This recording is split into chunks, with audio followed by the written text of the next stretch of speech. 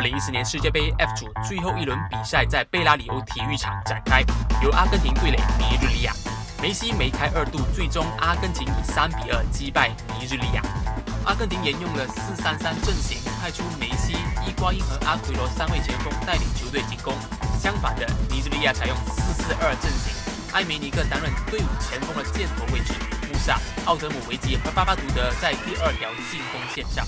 阿根廷一开始就猛攻，三分钟后，迪马利亚在左侧闯入禁区，起脚劲射，不过球中门柱后反弹出来，梅西赶紧补上一脚，破门成功，以一比零领先。不过尼日利亚在短短一分钟内以快攻得手，穆萨在禁区左侧以弧线球射入远角，立刻扳平比分一比一。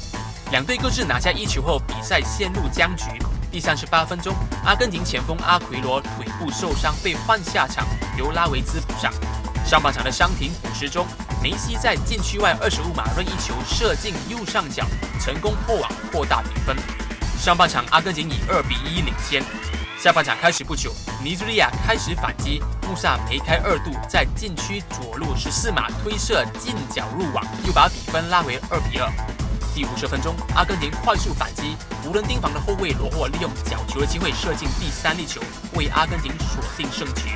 梅西在第六十三分钟被换下场，无缘表演帽子戏法，由中场阿尔瓦雷斯替补上场。